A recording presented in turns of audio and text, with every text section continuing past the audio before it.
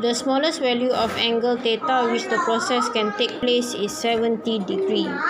So let's say I have um, apa? A fiber optic.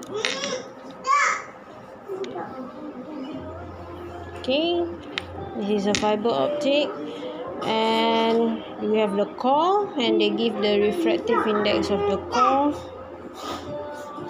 is 1.54 they ask you to find the end cladding what's the end cladding if the smallest angle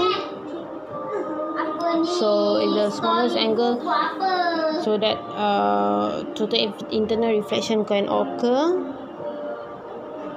okay is 70 degree. Okay is 70 degree Right. So what's the N2 eh ataupun uh, what is the refractive index for the cladding? So we use Snell law. We have like N1 sine critical angle N2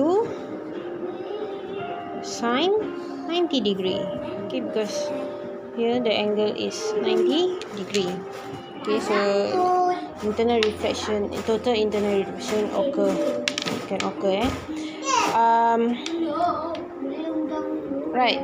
So we plug in all the values n1 is 1.54 uh, sine uh, 70 degree equal to n2 we don't know. Uh, sine 90 degree. So you use your calculator have to find n2 Okay, use your calculator to find N2.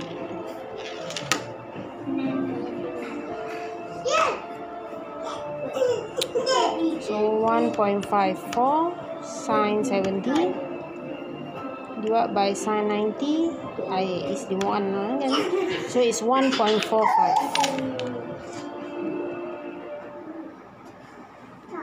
eh for refractive index there's no unit our refractive index no unit so it's only 1.45